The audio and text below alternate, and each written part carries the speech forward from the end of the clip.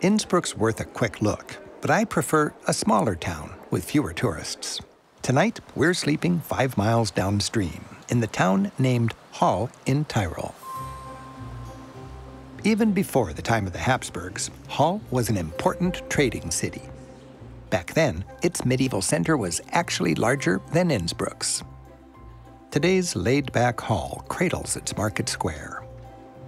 Its pastel buildings and quaint streets feel refreshingly traditional. Actually, too traditional if you're trying to accomplish anything more than a leisurely lunch from noon till 2, when everything closes.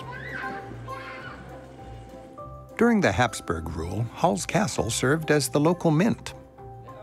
Old-time methods are still used here to strike shiny souvenir coins. 500 years ago, this was how you made money. The town's name, Hall, means salt.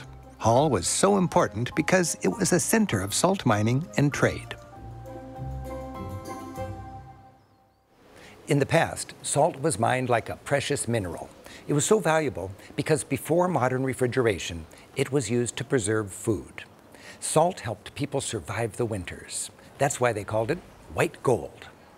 Back when salt was money, Hall was loaded. Its seal features a barrel of salt. The town's elegant architecture and rich church made it clear that in its day, Hall was a local powerhouse. While the church's structure is mostly 15th century Gothic, the decor inside is 17th century Baroque. And with a close look, you can see the wealth was founded on salt. Miners generated the wealth that paid for the lavish altars, extravagant starbursts, and this statue of the miner's patron, St. Barbara. And even the little cupids carry barrels of salt.